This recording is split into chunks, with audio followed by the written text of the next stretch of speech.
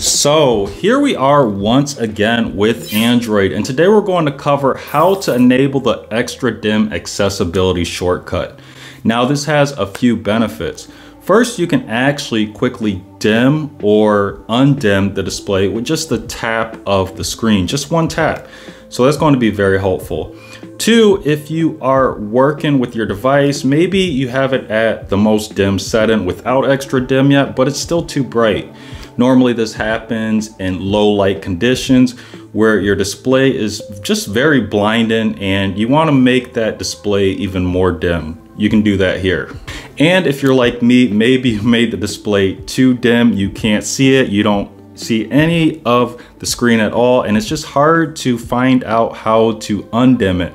Well, with this quick accessibility shortcut here, you can just do one tap and brighten up the display.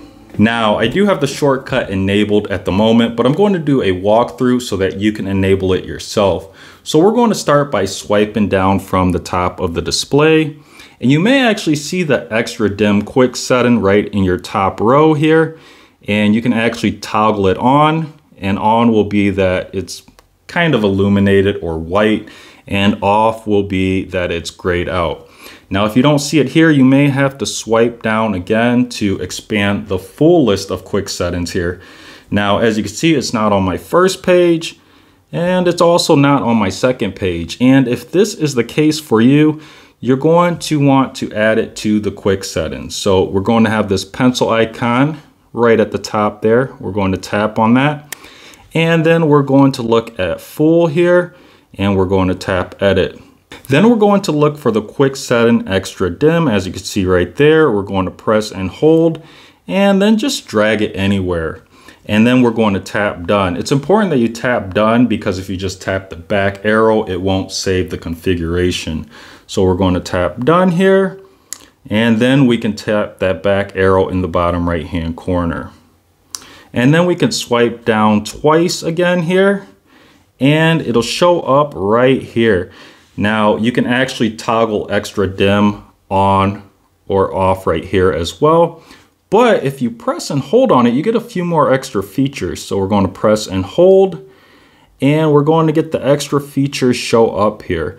So this opens up an extra dim settings page. And here we can toggle the feature on or off once again. Now, beneath this, we're going to have our accessibility option. And once again, I have it enabled as seen here and as seen by the blue slider there. But I'm going to tap on the slider, it's going to turn gray, and that accessibility option goes away here. Now I do want to enable it, so I'm going to tap on the slider and it's going to turn blue and we have that accessibility shortcut show up again. Now, interesting enough, you can choose a different accessibility option by just tapping on the blue text right underneath the text extra dim shortcut, and that opens a new page here. And here we can toggle that accessibility shortcut off or on. And beneath that, we can choose between three options. So first option is the one that I have selected now tap accessibility button. Then we have press side and volume up buttons. And then we have press and hold volume up and down buttons for three seconds. I think those two options, the ones after the one I selected, they're a bit too complicated. I like something simple and I like that this one is also on the display. So that's why I'm going with it. But you do have those two other options if you're interested. And once you select the one you like, we can tap either the back arrow in the top left-hand corner or the back arrow at the bottom of the display here. And then we have intensity of the extra dim. Now I put it up completely. You may want to play with this, but the further to the right that it is, the more dim your display will be the further to the left, the brighter the display will be. But I'm going to put it all the way to the right here and I'm going to actually turn it off because my display is going to be harder to see here.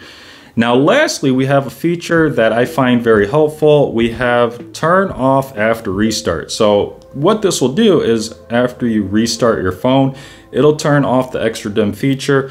That could be helpful because normally when you restart your device, you have to enter your PIN or your password and you have to see the screen to do that. And as you can imagine, if extra dim is all the way on, you might not be able to see the display and it may be a lot harder for you to log into your phone.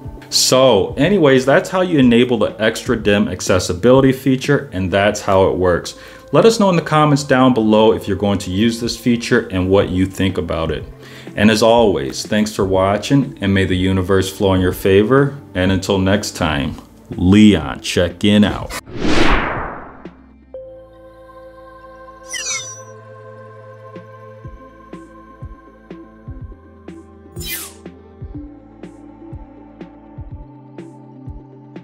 You